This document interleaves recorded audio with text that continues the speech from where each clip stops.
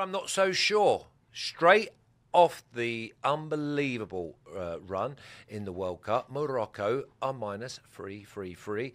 And now this is another thing I want to be educated is because in Europe we say Tanzania. But my friends, when I spoke to the squad in Z- uh, the Zambia squad before they left for the Ivory Coast, they said it's Tanzania. So again, if I have butchered it, then please take uh, my apologies. But you're still plus 1,025 to beat Morocco.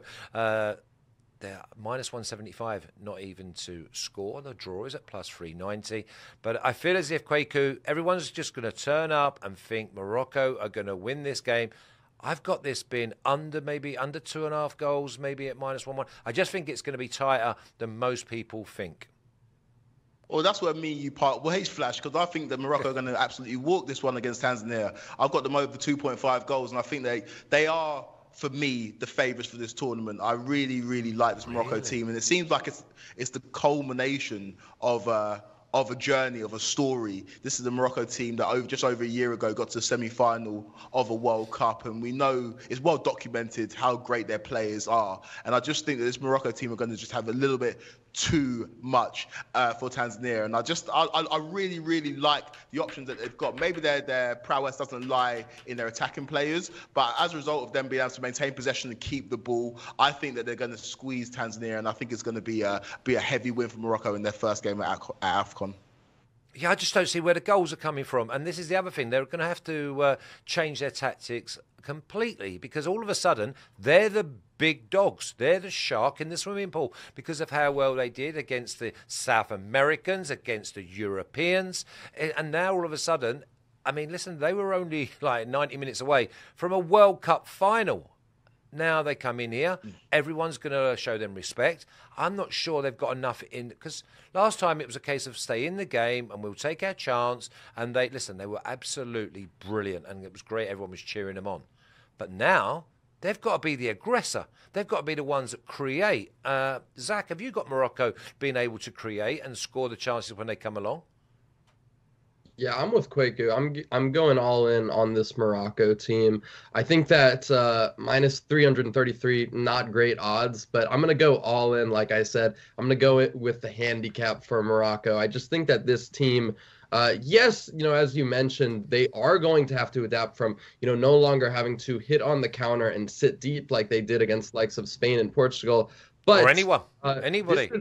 Of course, but this is still a very competent team. I think that they're going to prove that uh, 2022 was no flash in the pan. They've done what no African side before them has done by reaching the World Cup semifinals. I think they have a better chance than ever as they look to win their first AFCON title since 1976.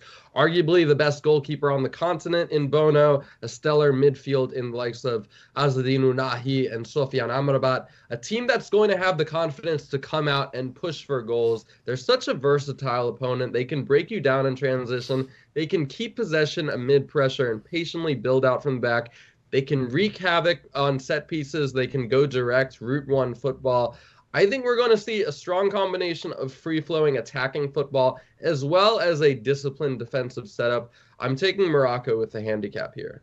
Yeah, listen, I'm not disrespecting Morocco. I'm just really interested to see how they adjust to the respect that they've earned because these teams are not going to want.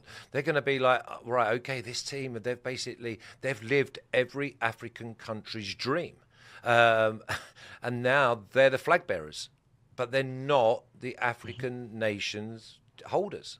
So they've got to make another step. So what, what I'm saying is, what's the bet? What is their, uh, their their big event? Getting to the semi final of the World Cup, or going deep in Afcon and not winning? Because all of a sudden all the good work you've done has been undone. But it's down to the opposition that are going to show them so much respect that it's going to be every single yard is going to be have to be earned. And when the chances come along, then Nesyri wants to be right on the ball. Really interested in this game. Really interested because they don't create many chances, but when they come along, and by the way, one of my favourite footballers in the last 10 years, uh, Hakimi, uh, I hope he has a great tournament. Uh, here we go. Let's have a little look at the official picks, please, because you can see I've got out of here. But the boys, Morocco and over two and a half at plus 120. A lot, well, the numbers are telling you that that will have to be 3 0. And Morocco minus 1.5 at minus 107. That gets Zach away with a 2 0. But for me, uh, it's a watching brief.